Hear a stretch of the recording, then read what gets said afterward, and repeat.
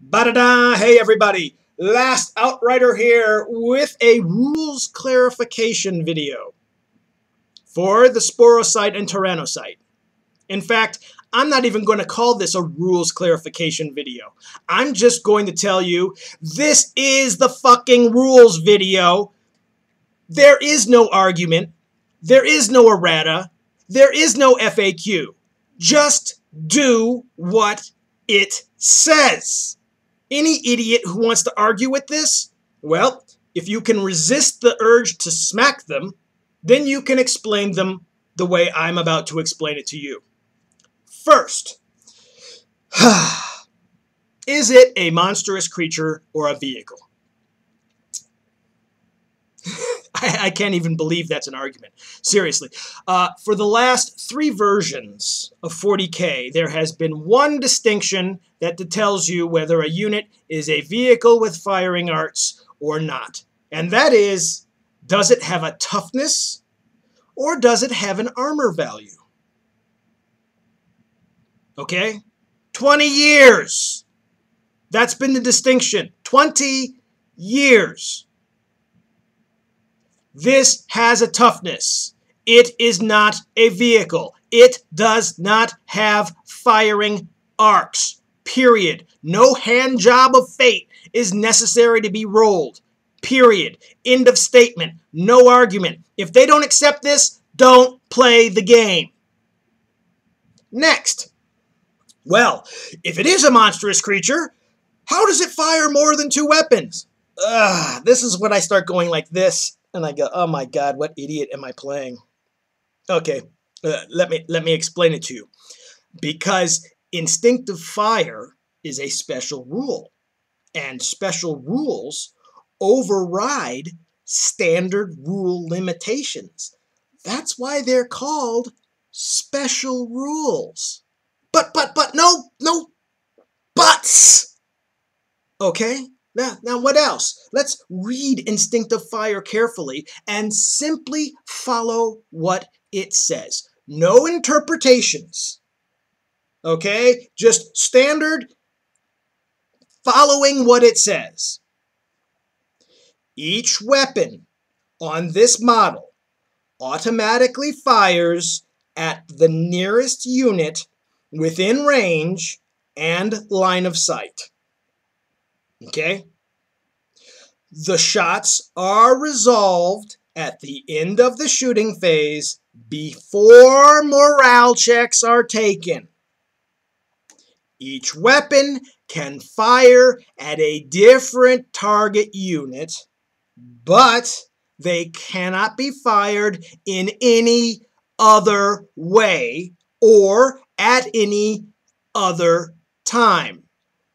No snap firing.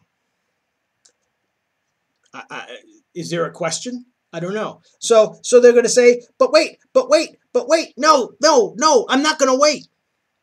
Because I know what they're going to try to do. They're going to try to say unit designation of firing. No, no, there is no unit designation of firing. It's a special rule. It sets aside the basic rules. So here's how it works.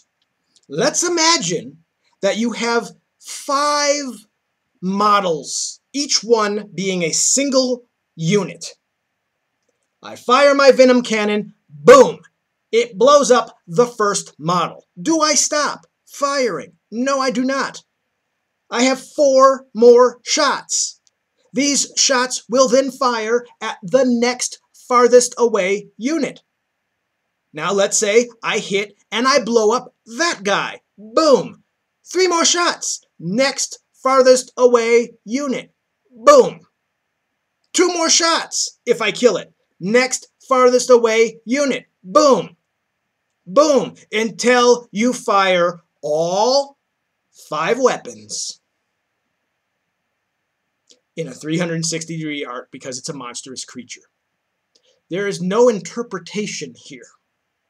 I'm just literally following what the rule says. And if any idiot, well, so far it hasn't happened to me because I explain it this way.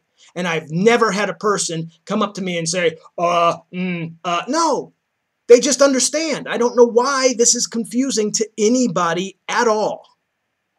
If you wipe out a unit, that's all it's saying. If you wipe out a unit, you keep firing. You don't stop. That's it. That's all you have to explain. If if all five shots go into one unit and there's still a model alive at the end of those five shots, then this is not a problem. It only applies if you wipe out a unit. And as it says, there are no morale checks. You do not resolve the entire shooting phase on that unit and then check morale and then see if it runs away. No, no, no, no, no. You do this before morale checks. So the only time this comes into place is if you hit and kill a model or the entire unit, you will whatever remaining shots will be fired into another unit. So you have a possibility of wiping out five units with this.